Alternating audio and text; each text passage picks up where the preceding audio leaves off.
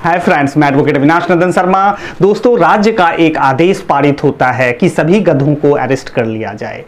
तो एक घोड़ा इस आदेश को जानने के बाद भाग रहा होता है। पुलिस की नज़र उस पर जाती है, उसका पीछा पुलिस करती है, उसे पकड़ती है और पूछती है कि तुम क्यों भाग रहे थे? घोड़े ने कहा कि ये फरमान जारी हुआ है कि सभी गधों को गिरफ़्तार कर लिया जाए।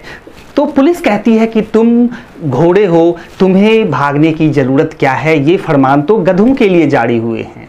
घोड़ा कहता है कि, सर, आप मुझे अरेस्ट कर लोगे और जब ये केस कोर्ट तक पहुँच जाएगा तो मुझे दस साल लग जाएँगे ये साबित करने में कि मैं गधा नहीं, घोड़ा हूँ। दोस्तों केस लड़ते हुए सालों लग जाते हैं। अपनी चीज़ों को प्रूफ करने के लिए, आप सच को सच साबित करने के लिए 10 साल का वक्त चला जाएगा।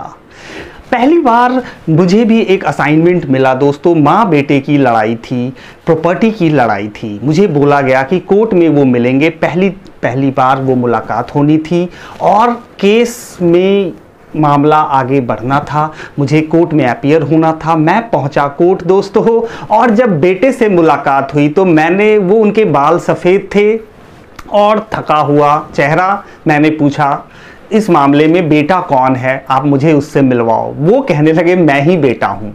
मैंने बोला, आप तो काफ़ी उम्र दराज व्यक्ति दिख रहे हो। वो कहते हैं, सर, ये बाल मेरे कोर्ट में केस लड़ते लड़ते सफ़ेद हो गए। अभी हाल में सुप्रीम कोर्ट ने अज़ीज़ आकर ये कह दिया कि अगर परिस्थितियाँ ऐसी होंगी, जिसमें हस्बैंड और वाइफ काफ़ी समय तक अलग हैं, उनके बीच केस चल रहा है डिवोर्स की प्रक्रिया चल रही है, और ऐसे मामले लंबित हैं तो उनको दूसरी शादी कर लेने का भी अधिकार होगा। 21वीं सदी में भी 21 साल बीत चुके हैं दोस्तों।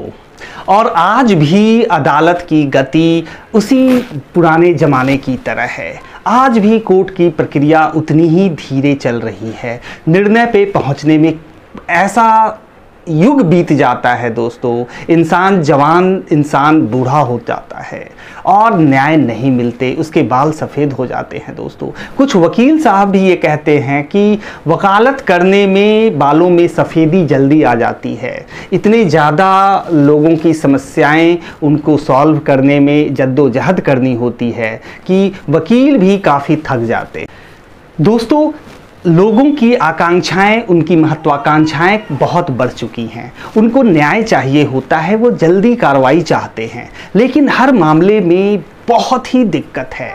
मैं एक ऐसे ही मामले को बताऊँ कि एक पुरुष जो अपनी पत्नी के खिलाफ तलाक का केस फ़ाइल करता है, उसके दो बच्चे हैं, दोनों बेटियों को वो अपने पास रख लेता है।